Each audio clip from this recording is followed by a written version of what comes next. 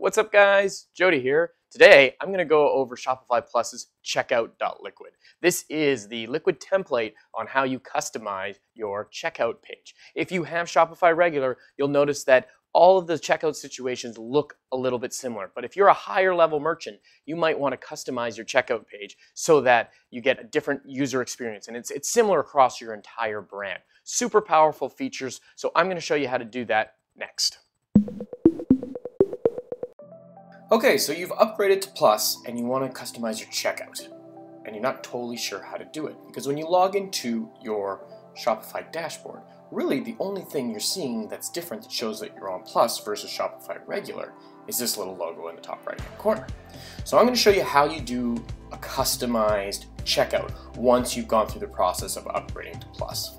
So the way that this works is it's like everything else, it's theme based. So if you go to online store, and then you go to themes. And then you go into your edit HTML and CSS. You're going to come to um, your editor. Now, one of the things that's a little bit tricky for first timers is how do I get to the theme template for the checkout? Um, I don't see it in um, this page. And typically people think they're going to go to add new template or look for a template in there or that sort of stuff. But actually, where you want to find it is add new layout. So when you click Add New Layout, you'll now have the access to this drop-down menu, which allows you to select a checkout layout. Now, because there's only one type of checkout, you can't set up multiple ones. Um, what we're going to do is we're going to go Create Layout, and it's only going to give us this option create the layout, and then it's going to generate us out some liquid code. Now there's a couple things in here to keep in mind, um, and I'm going to go over which each individual one are.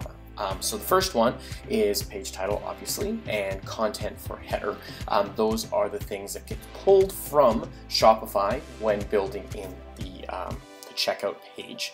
Um, same with your checkout status and your checkout script. So these are, when you click on Customize Theme, and you are under um, the checkout button at the bottom, here is where these things are being pulled from. So this is this is those built-in settings for the checkout. And basically it gives you this look and feel, which is the pretty standardized Shopify layout. So what I'm actually going to do is I'm going to go back to edit HTML. We're going to go and add some quick HTML code in there so you can see how we can start to modify and uh, change out that checkout uh, process. So each one of these um, little uh, liquid tags that are in the ellipses, they all need to be included, um, and you can remove them. Some of them, some like like content, logo, and um, order summary and stuff like that. But it all it is recommended that you keep all of them in here, and each one has its own different thing, which I will go over in future videos when we start really drilling into Shopify Plus features. So what I'm going to do is I'm going to show you a quick demo of how to change some of the content on that page.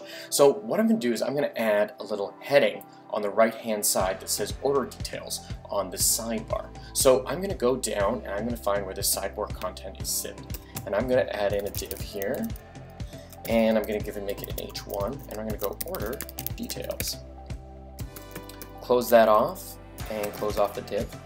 And then when I save it, and I come back over to my checkout and I refresh it because I'm in the active theme, what I should see is a rendered version now that have order details. So this kind of customization and this kind of uh, flexibility when you're on Plus is super, super powerful. So you can create full branded checkout experiences so that customers never know that you've actually switched over to a Shopify type store. There's a lot of great things you can do for that. There's also checkout scripts, which allow you to modify different shipping options and payment options, and you can really get granular with that kind of stuff. So that's basically a quick demo of what happens when you're on Shopify, uh, Shopify Plus that is, and then we can go in in future videos and, and modify things around. Thanks guys for watching the video. It was just a little toe dip into the pool of what is Shopify Plus. Uh, remember, if you need any help, you can uh, click on the links down below and book a call with me. I'd be happy to walk you through any of the features that you might need to know or do any custom work for you. And uh, other than that, uh, you guys have a great week and we'll talk to you next week.